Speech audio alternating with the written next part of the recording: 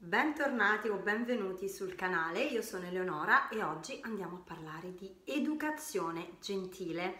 Questo è il primo video dedicato appunto all'educazione gentile, anche se io eh, ritengo che all'interno dell'educazione gentile rientri assolutamente anche tutto ciò che riguarda mh, mm, eh, il metodo o la psicopedagogia Montessori. Quindi vi lascio ehm, sia qua sopra nelle schede che giù nell'info box la playlist dedicata proprio a Montessori che comprende tanti video che ho fatto eh, in questi anni dedicati proprio al metodo Montessori. Andiamo adesso però a parlare proprio di educazione gentile eh, della quale negli ultimi anni si sente abbastanza parlare. Che cosa significa educazione gentile? Si applica alla scuola? Si applica alla genitorialità? Eh, quindi indaghiamo un pochino.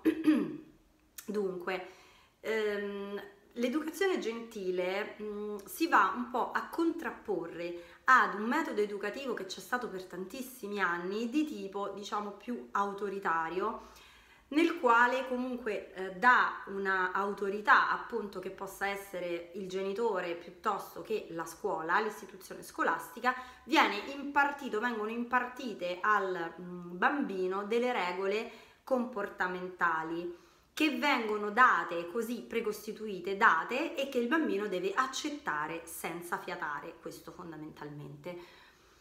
È un tipo di educazione che ricorre spesso a premi, punizioni, minacce e quant'altro e questo vale sia per l'ambito scolastico che per l'ambito eh, genitoriale, no? Ed è un tipo di educazione, di modello eh, educativo che viene utilizzato tutt'oggi dalla maggior parte delle persone, sia in ambito scolastico, ripeto, che in ambito familiare.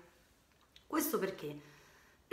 perché ehm, l'educazione eh, tradizionale, se così vogliamo, l'educazione autoritaria, l'educazione anche, mh, mm, vorrei dire, l'indottrinamento, ecco, che è diverso dall'educare, eh, è sicuramente più semplice per l'adulto perché? Perché l'adulto si ritiene depositario di un sapere che deve passare, trasferire al bambino e questo si presta molto bene mh, mm, a io ti insegno e tu devi fare così perché io sono l'adulto e tu sei il bambino, io mi metto in cattedra e tu di fronte a me apprendi quello che io ti devo dire e che io ti insegno. L'educazione gentile ribalta completamente questo, mh, mm, conce- tutti questi concetti e eh, l'adulto si mette sullo stesso piano del bambino. Maria Montessori ehm, è stata una degli antesignani dell'educazione gentile, di un'educazione rispettosa del bambino, mm, di un'educazione che eh, fosse accompagnamento allo sviluppo naturale del bambino e non indottrinamento. Purtroppo eh, in Italia non ha così tanto attecchito per motivi storici mh, mm, questo genere di modello educativo che invece in altri paesi, soprattutto nel nord Europa, è molto più diffuso. E di fatti eh, i bambini diciamo sicuramente mh, mm, vivono il concetto di scuola eh, in modo completamente diverso e le scuole e gli insegnanti vengono premiati con premi internazionali nei quali purtroppo gli insegnanti italiani quasi mai rientrano, ma c'è un'eccezione della quale poi parleremo. Vado a prendere i miei appunti perché voglio entrare un po' nel vivo questa, della questione educazione gentile, quindi non disperdermi, dato che io sono una divagatrice, quindi cerco di stare sul pezzo questa volta perché l'argomento è davvero vastissimo. Allora, mh, mm, ripartirei un attimo da quello che è il concetto di mente assorbente del quale ho parlato e che se non avete ehm, visto quel video vi consiglio di andarlo a vedere, ve lo lascio su nelle schede giù nell'info box. Perché? Perché il primo lavoro che noi dobbiamo fare se vogliamo essere insegnanti e genitori, nonni, babysitter, chiunque che um, si approcciano con l'educazione gentile ai bambini è un lavoro su noi stessi proprio perché mh, non dobbiamo insegnare, quindi indottrinare il bambino, ma il bambino apprenderà, assorbirà dall'ambiente le nostre buone abitudini, le, la nostra educazione, la nostra gentilezza. Quindi questa è la cosa più importante da fare e eh, comprendere proprio quello che è il meccanismo della mente assorbente. Andrei però nel vivo della questione perché ho deciso di, um, di approcciare l'argomento educazione gentile, proprio perché è un argomento vastissimo, partendo da quelli che sono da sempre i miei migliori amici, ovvero i libri. E oggi ve ne presento due, due libri meravigliosi che vi consiglio vivamente di leggere, soprattutto se siete insegnanti e di regalare agli insegnanti dei vostri figli, specialmente agli insegnanti un po' difficili e parlo di questi due libri. Iniziamo dal primo, Puoi costruire per me una scuola gentile, libro che fornisce tantissimi spunti non solo agli insegnanti, ripeto, ma proprio in generale ai bambini e che adesso andremo a eh, vedere più nello specifico. Allora, una cosa molto importante, mi sono segnata le pagine, scusatemi, ma così riesco a essere più precisa. Eh, la prima cosa che dobbiamo andare a fare se vogliamo essere educatori gentili, genitori gentili, è combattere ogni tipo di violenza, anche quella che ci viene diciamo un po' in automatico, un po' spontanea. E eh, vi voglio leggere un passaggio di questo libro davvero bello. Quando parlo di violenza, forse alcuni di voi penseranno ma cosa c'entra con la scuola? E io direi anche con la famiglia. Soprattutto cosa c'entra con l'infanzia? Eh, forse se ne può parlare a partire dalla scuola primaria e invece no. La violenza è una questione che riguarda tutta la comunità educativa, quindi compresi anche i genitori, la scuola di ogni ordine e grado e la famiglia, che sono due realtà ad alto rischio violenza.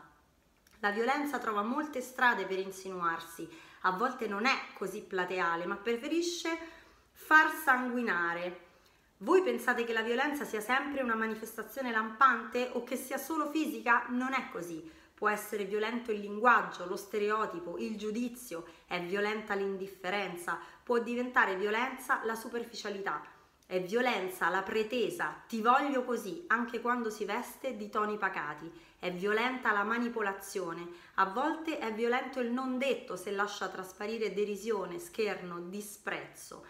Ho trovato e trovo molta violenza nelle scuole e nelle case e non intendo fra bambini. Non sto parlando di bullismo, mi riferisco alla violenza generata dagli adulti di riferimento, spesso agita inconsapevolmente, in modo superficiale e distratto, più raramente in modo intenzionale. Parole dure ma che dobbiamo, devono assolutamente farci riflettere. Come si esprime la violenza? Uno degli esempi di cui tratta questo bellissimo libro sono le parole, le parole che possono essere finestre oppure muri. Le parole sono, vanno scelte con cura e sono ad alto rischio violenza e noi non ce ne rendiamo conto. Le parole finestra sono aperte, creano ponti, connessioni, ci permettono di dialogare, di confrontarci, di guardare oltre. Le parole muro innalzano barriere, sono chiuse, accartocciate, non cercano il confronto, sono parole di ostilità, giudizio e non dovrebbero mai far parte del lessico dell'educare. Sottolineo mille volte questa frase. Hai dato un pizzico a Maria e lei ora sta piangendo. Hai visto che hai fatto? Sei proprio cattivo. Vergognati, chiedi scusa. Devi essere gentile, quante volte te l'ho detto? L'insegnante ha pensato così di educare alla gentilezza questo bambino di 4 anni? Secondo voi in questo modo educhi alla gentilezza?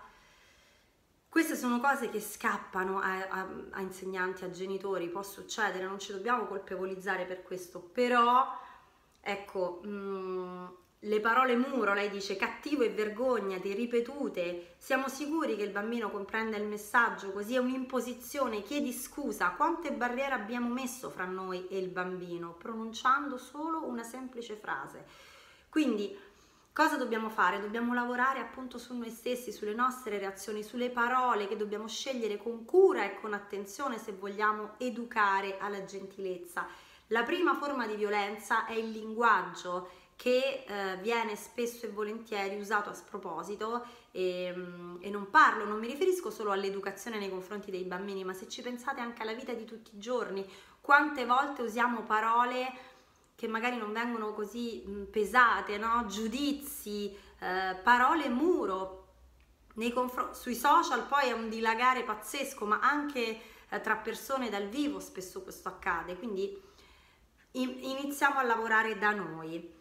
Um, un'altra cosa che mi, mi, piaceva farvi condividere insomma con voi è la differenza tra educare e indottrinare. Vado a cercare la pagina eh, nella quale appunto avevo mm, preso appunti. Mm, ah, ecco, altra cosa, perché ehm, educare contro indottrinare. Allora, andiamo a leggere Indottrinare, istruire, far assimilare con opera di insegnamento e di persuasione insistente e metodica i principi di una dottrina.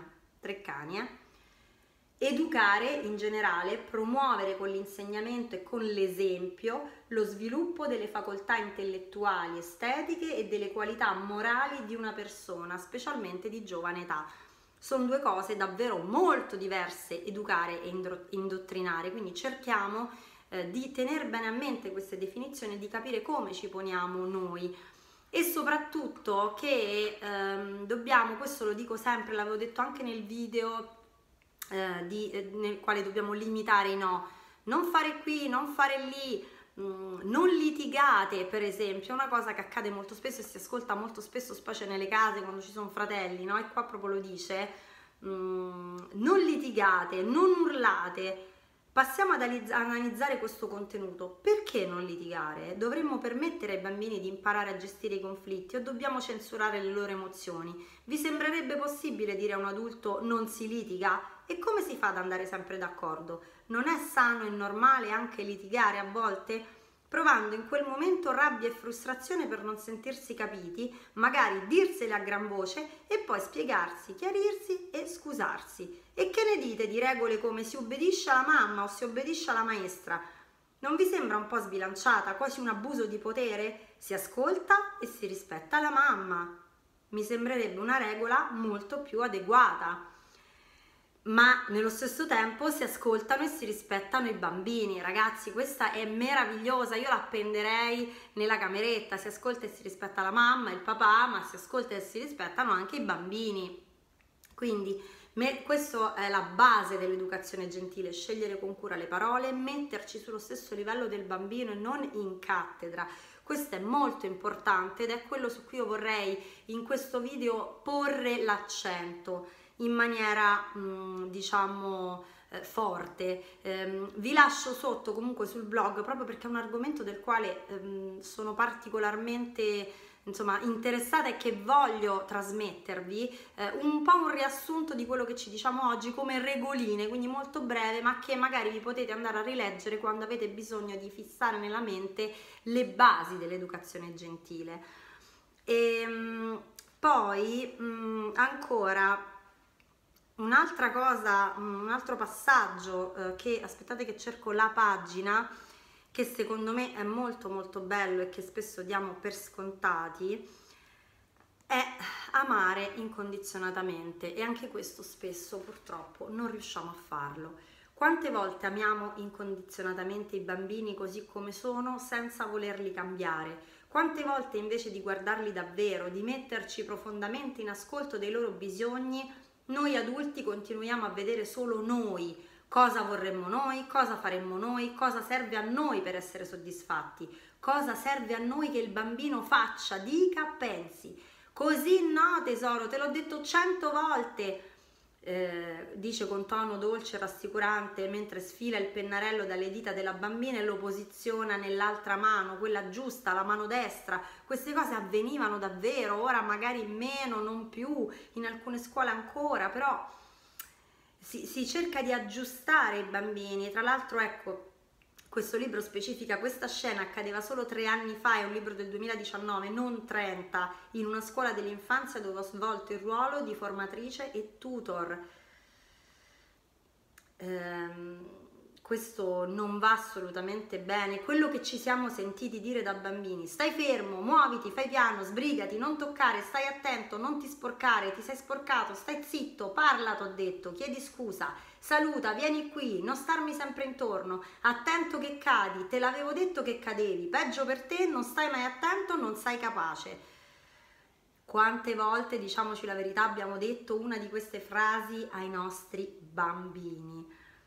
Come può un bambino percepirsi adeguato, capace, all'altezza delle aspettative se ogni parola rimanda un rimprovero, un divieto, un giudizio, un'ammonizione? Come costruire equilibrio e fiducia in se stessi se la comunicazione è veicolata attraverso un linguaggio sciacallo? Quello che avremmo voluto sentirci dire, che dovremmo dire ai nostri figli è ti amo, sei bello, sono felice di averti, parliamo un po' di te Troviamo un po' di tempo per noi. Come ti senti? Puoi dire tutto quello che vuoi, ho fiducia in te, mi piaci come sei, è bello stare insieme, dimmi se ho sbagliato. Questa è un'altra cosa molto importante. Mettiamoci in discussione, anche noi sbagliamo e se sbagliamo chiediamo scusa, non diciamo al bambino chiedi scusa, ma impariamo noi a chiedere scusa se sbagliamo e loro impareranno a farlo a loro volta questa è la chiave, quindi metterci anche noi in discussione, perché la vita è un percorso dove non si arriva mai e non è una gara dove chi arriva prima, chi arriva dopo, è un percorso, siamo tutti sullo stesso viaggio, insieme ai nostri figli, anche noi possiamo sbagliare, crescere con loro, imparare da loro, anche se hanno 30 anni meno di noi. Quindi cerchiamo di entrare in un'ottica diversa, siamo stanchi, ma magari anche il bambino è stanco e se proprio non resistiamo e magari lo trattiamo male, chiediamo scusa, mamma è stanca, perdonami, sono stanca. Cioè mettiamoci sullo stesso piano del bambino, questo è molto molto importante, anche questo passaggio lo trovo meraviglioso, eh, proprio da, da tatuarsi come genitori e come formatori in generale. Andrei, ehm, andrei, a concludere con gli ultimi passaggi prima di eh, introdurvi brevissimamente l'altro libro. Mm. E dunque, mm, un'altra cosa molto importante che c'è sul, nella parte finale di questo libro è proprio rendersi conto che il bullismo, la violenza, il bambino violento generalmente cresce all'interno di un ambiente violento. Qui non parliamo dei bambini che intorno ai due anni spingono, mordono, eccetera, perché quello rientra all'interno di una situazione no- normale, diciamo che accade a tutti i bambini che non sono ancora verbali, che ancora non hanno imparato a gestire le emozioni e ne parleremo in un altro video, ma bambini proprio violenti, mm, i bulli che non hanno il bullismo si basa fondamentalmente su cosa? Sull'incapacità di provare empatia, perché se il bambino fosse in grado di provare empatia non tratterebbe gli altri in quel modo, no? Quindi, eh, che significa che eh, viene, spesso questi bambini crescono all'interno di ambienti familiari o scolastici eh, nei quali appunto non viene sviluppata l'empatia, il senso di comunità, il bambino non viene ascoltato e quindi tutti questi muri innalzati creano poi che cosa? Una bomba atomica di rabbia, di frustrazione che esplode in questi modi così violenti. Quindi L'educazione alla gentilezza, l'educazione alla pace, diceva Maria Montessori, eh, l'educazione cosmica, quindi eh, noi siamo all'interno di un circuito molto più grande, di un universo di, di, di persone, di natura, di luoghi, di, di amore che dovremmo cercare di eh, trasmettere ai nostri figli proprio per costruire un mondo migliore, una comunità migliore, per fare in modo che poi non, non, siano i nostri figli a ritrovarsi bullizzati magari tra qualche anno a scuola. Quindi lavoriamo e mettiamoci in discussione anche rispetto agli insegnanti, perché molto spesso vedo mh, degli atteggiamenti muro da parte dei genitori quando magari gli insegnanti mh, sottolineano, fanno notare che possono esserci dei problemi eh, sotto questo punto di vista dei figli e i genitori stessi non vogliono affrontare la problematica con se stessi intendo. Quindi ecco lavoriamo su di noi. L'avrò detto cento volte e mai mi smetterò di ripeterlo. Voglio passare brevemente prima di concludere all'altro libro libro meraviglioso una scuola a misura dei sogni. Allora questo libro è stato scritto da un insegnante mh, mm, ci tengo proprio a leggervelo Giuseppe Paschetto è laureato in chimica e insegna scienze e matematica nella scuola secondaria di primo grado. Nel 2019 è stato inserito unico insegnante italiano tra i 50 finalisti del Global Teacher Prize e nel 2020 è stato nominato consulente del Ministro dell'Istruzione per l'innovazione didattica e la formazione degli insegnanti.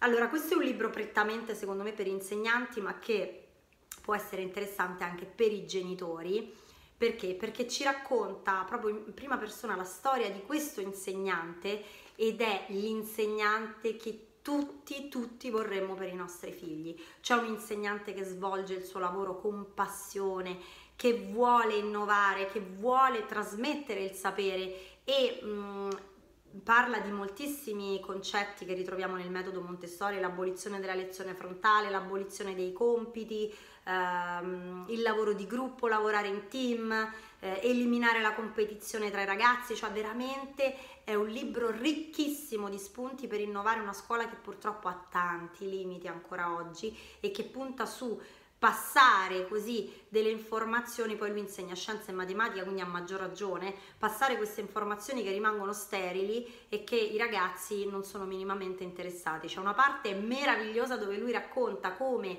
invece di fare i compiti in classe o le interrogazioni frontali, crea delle lezioni strutturate, ad esempio qui ne racconta una che è strutturata proprio su Alice nel Paese delle Meraviglie, dove lui, cioè i ragazzi devono risolvere questi problemi matematici all'interno di un percorso di labirinto in cui Alice deve uscire da questo labirinto e risolvere tutta una serie di enigmi che poi sono problemi matematici. Ragazzi, è stupendo.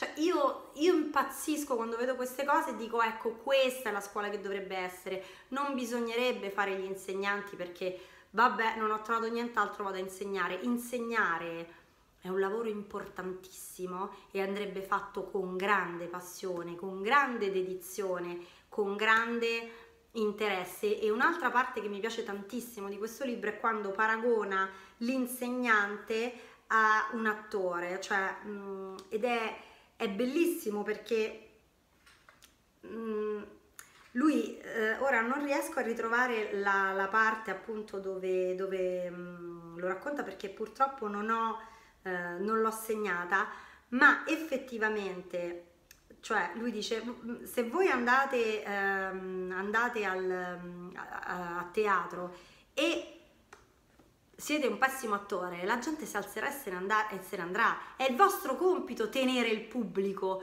La stessa cosa è l'insegnante, cioè voi dovete catturare l'interesse dei ragazzi, dovete eh, accendere la scintilla del sapere, la scintilla della conoscenza, che è quella che muove da sempre l'universo, la crescita dell'uomo, lo sviluppo tecnologico, lo sviluppo nella medicina, lo sviluppo nelle arti il compito dell'insegnante non è insegnare scienze, ti do il libro e tu impari la paginetta, ma è accendere la scintilla della conoscenza e far sì che questa brilli e cresca nella vita del, dei, dei bambini. E questo secondo me vale anche per noi come genitori, vale la stessa cosa.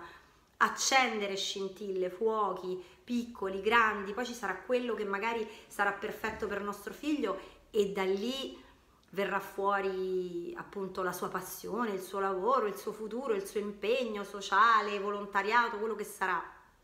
Ma eh, comunque gli spunti li dobbiamo dare noi, noi come insegnanti, noi come genitori. E, e quindi dobbiamo sentirci attori in questo, cioè imparare a catturare l'interesse dei bambini.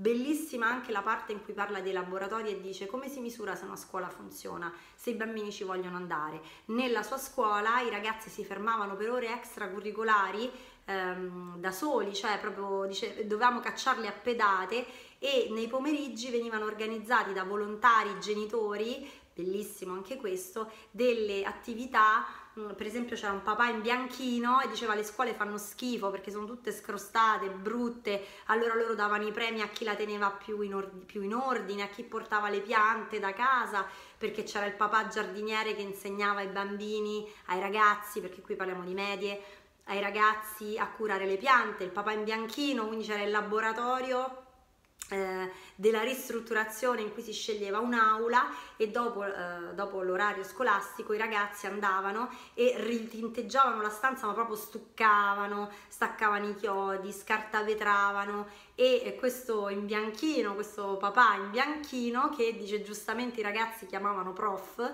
ehm, ha insegnato un mestiere, cioè una capacità che ormai è andata persa, la mamma sarta che insegnava a, a ricucire magari i vestiti rotti, cioè ognuno metteva ehm, una propria abilità per coinvolgere gli studenti e appunto accendere scintille. Questa cosa è stupenda, a me mi apre il cuore, ragazzi, io mi vedete, sono estasiata di fronte a questo e mi piacerebbe che il mondo fosse così, fosse un mondo di condivisione, di gioia, dove ognuno mette a disposizione i propri talenti mh, mm, per per far crescere la comunità, per crescere tutti insieme, che poi è quello che cerco di fare anch'io un po' qui, no? Cioè mettere a disposizione di tutti Mm, quel poco, quella poca conoscenza che ho, quei pochi talenti, per, ehm, perché questi crescano, eh, vadano in giro per il mondo.